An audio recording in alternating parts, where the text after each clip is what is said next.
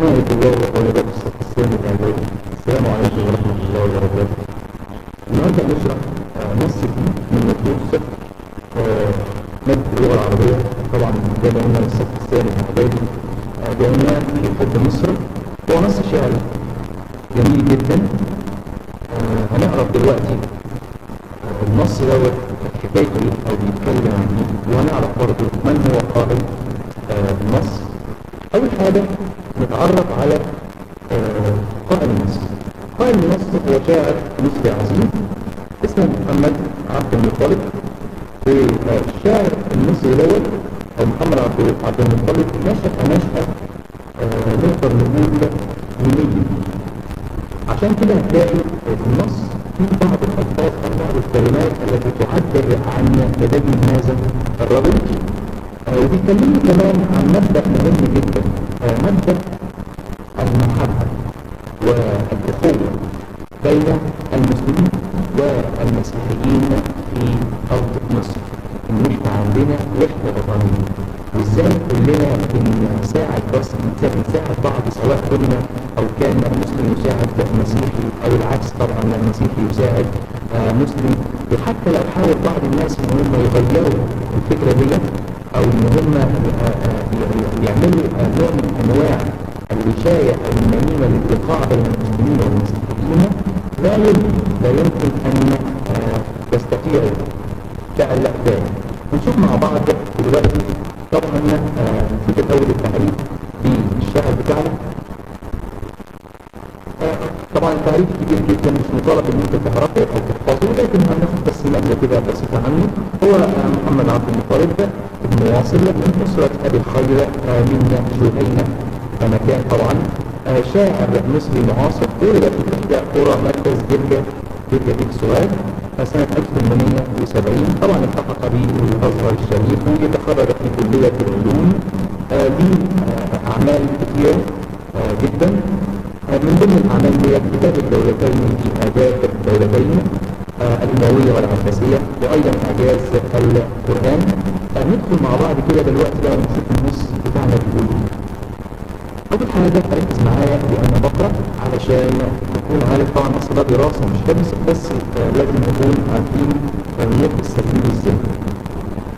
أتنكر ما دين هواها لها العذر زهاها الصدى والحسن والحسن الوقت رويدك إنا في العلا يوم ننتمي كلانا أبوه النيل أو أمه أو أمه مصر لنا ذروة المجد الذي تحت ظله تناسلت الأحقار واعتمد الظهر.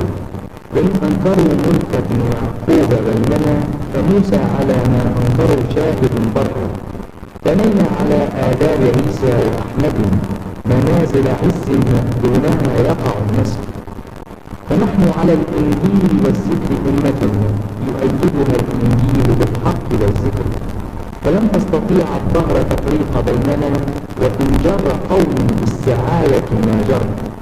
إذا ما دعت مصر إليها ابنها نهض بنجدتها سيان أو عمرو ألم ترنا في كل عيد وموسم حليف ولاء لا جفاء ولا هجر؟ فطبعا قراءة النص. هنتناول مع بعض كده دلوقتي آه، آه، آه، فكر النص أو شغال هنشتغل فيه إزاي؟ نمسك كده البيت الأولاني أو نرجع له كده هتنكر تنكر أو الإنكار هو الجحود يعني لا تعترف. هتنكر ما به من هواها لها العذر هو بيتكلم عن مين يا شباب؟ بيتكلم عن إن مصر تنكر حبها له أو حبه له. ليه؟ وبيقول إن هي لها العذر. لها العذر يعني لها الحجة ولها المبرر ذلك بص بقى التصوير اللي جاي ده. زهاها. زهاها الصلة يعني زينها وجملها الصلة اللي هو فتح البيت الشباب. والحسن الحسن والجمال. والحسب الوطن اللي هو الحسب الشريف. أو نقدر نقول المكانة العظيمة اللي تقع أو اللي موجودة عليها في مصر. بص بقى بنلاقي رويتك.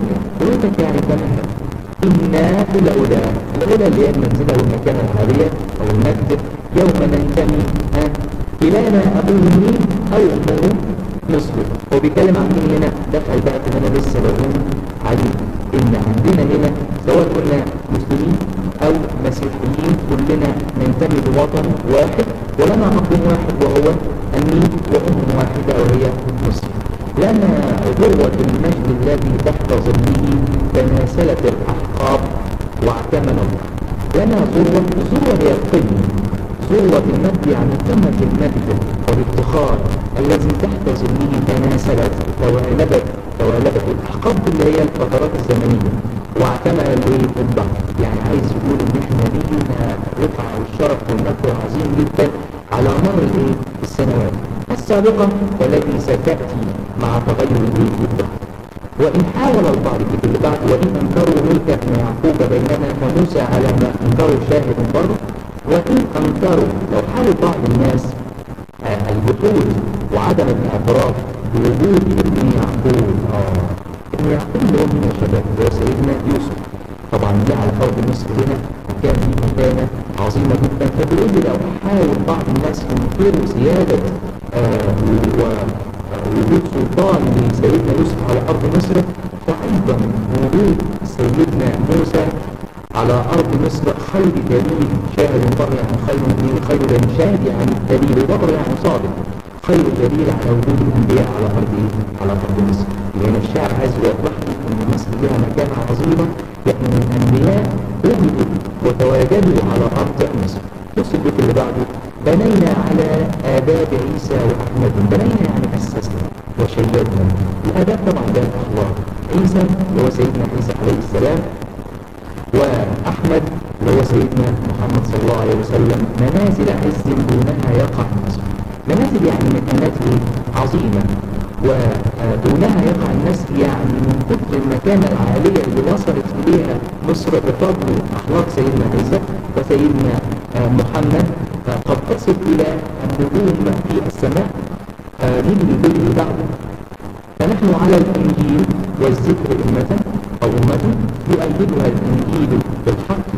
فنحن على الإنجيل اللي هو طبعا الكتاب الخاص بالمسيحية والذكر اللي هو القرآن الكريم أمة. أمة يعني كلنا حاجة واحدة الأمة بتاعتنا أو الأمة مصر موجود فيها الكتابين دول اللي هم اللي بيأسسوا الأخلاق بتاعة المصريين.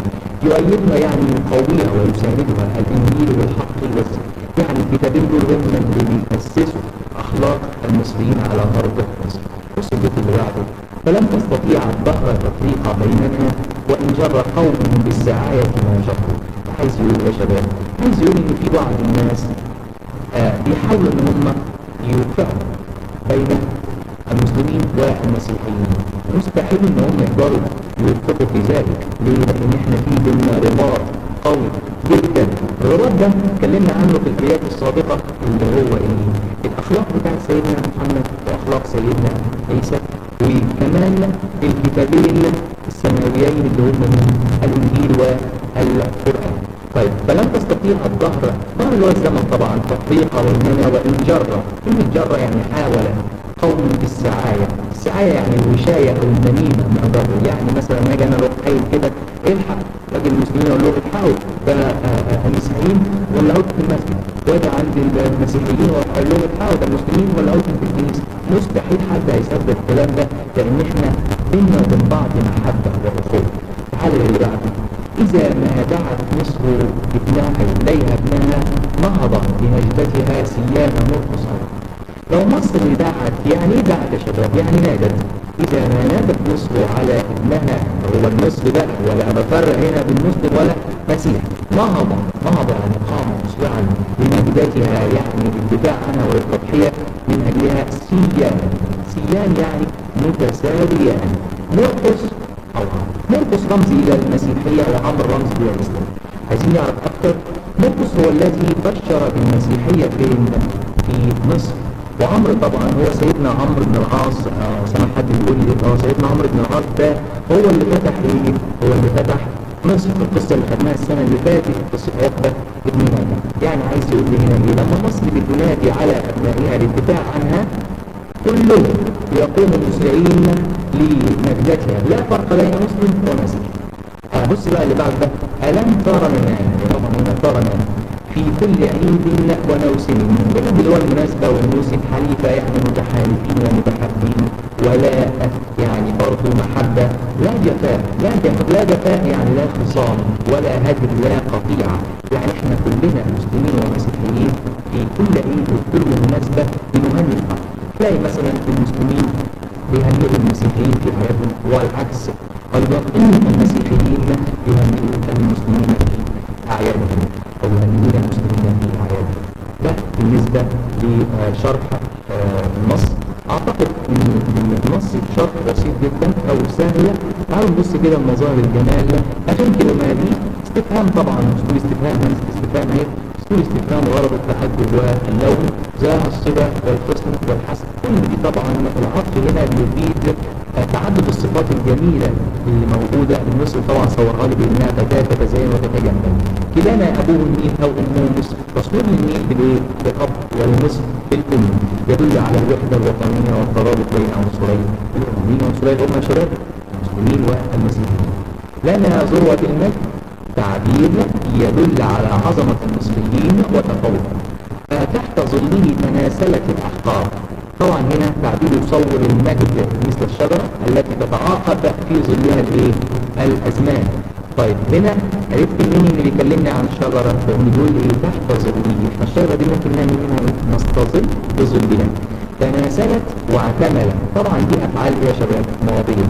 الماضي طبعا بيفيد الثبوت والتحقق. اما المضارع بيفيد الايه التجدد والاستمرار صح كده الأحقاب والظهر ترادف يؤكد عراقة إيه؟ عراقة مصر. تعالى للي بعده نشوف آه الجزئية اللي بعد كده. آه هنا طبعا في تدريب أو في تقويم على النص وده طبعا هنشتغل فيه مع بعض. ممكن تقدروا تحطوه وين وإن شاء الله أونلاين أو في الأونلاين نقدر إن إحنا آه نشوف الإجابات بتاعتنا مع بعض. شكرا.